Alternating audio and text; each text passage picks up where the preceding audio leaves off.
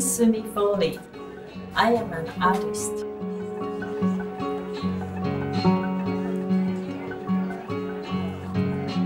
I was born in Osaka, Japan.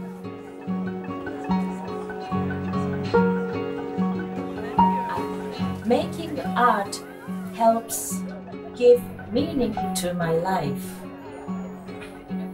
It connects me with each person who sees it. It is a language which goes deeper than spoken word.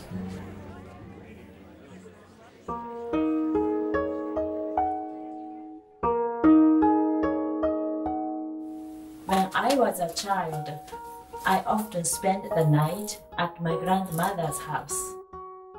She had boxes of kimonos. I loved spending my time touching and gazing at those fabric. At the same time, she showed me the art of sewing and other needlework.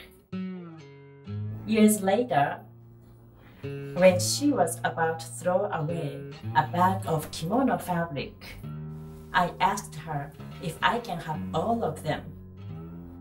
Because those are the fabric which showed me a beauty and made a special connection between my grandmother and me.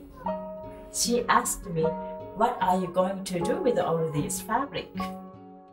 I had no idea but I wanted to make something beautiful out of those fabric and give them a new life. It was about 30 years ago, that moment I dedicated my life to make my abandoned fabric art.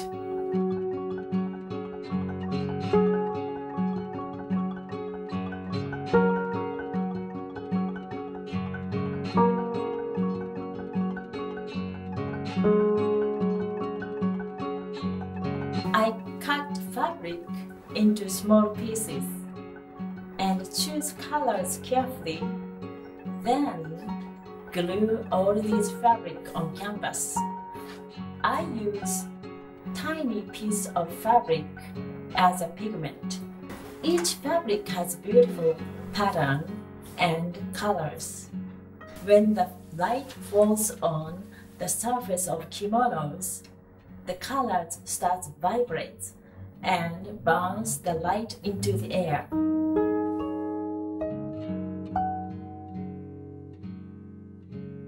Sometimes foxes appears in my pieces. These foxes has special meaning for me. When I was a child, my grandmother told me stories before futon time, bedtime. Every time these foxes appeared in my mind and came alive in her stories. I want to keep that feeling in my art.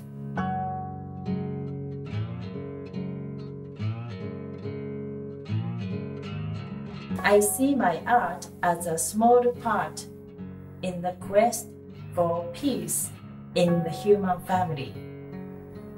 It will be my footprint after I gone.